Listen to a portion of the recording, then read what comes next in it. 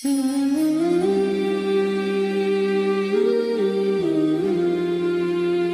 Sumrah bin Jundub radhiyallahu anhu anin anna an-nabiy sallallahu alaihi wa alihi wasallam qala minhum man ta'khudhuhu an-naru ila ka'bayhi wa minhum man ta'khudhuhu ila rukbatayhi wa minhum man ta'khudhuhu ila hujzatihi wa minhum man ta'khudhuhu ila turqa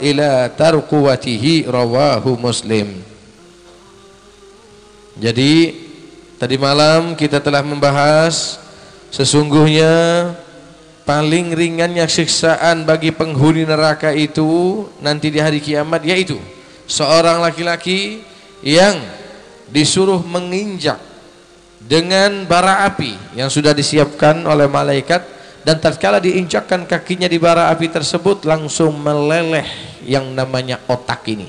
Bayangkan saking panasnya bara api yang dimiliki oleh penghuni neraka pada saat itu sehingga dia, seorang laki-laki yang disiksa itu mengira tidak ada siksaan yang lebih parah lagi daripada itu. Inilah yang paling parah.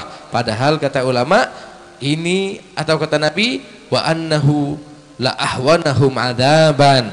Itulah yang paling ringan siksaan pada hari kiamat di hari di siksaan di, di hari neraka ataupun di neraka di hari kiamat nanti. Itu paling ringannya. Lantas bagaimana yang paling paling pedihnya? yang paling parahnya tidak bisa kita bayangkan Pak hadirin kemudian hadis yang ke-106 eh, melanjutkan minhum di antara mereka man ta'khudhuhun naru ila ka'baih ada yang terbakar dengan api neraka itu sampai kepada ka'baih yaitu mata kakinya. Wa minhum man ta'khudhuhu ila rukbataih ada di antara mereka yang sampai lututnya wa minhum man ta'khudhu ila hujzatihi ada di antara mereka yang sampai bokongnya. Ada di wa minhum man ta'khudhu ila tarquwatihi di antara mereka juga ada yang sampai pundak. Dan seterusnya ada yang tenggelam dengan api. Seakan-akan pada saat itu kita berada di buih lautan. Tapi sayangnya bukan air tapi adalah berkecamuknya api neraka yang sangat mengerikan.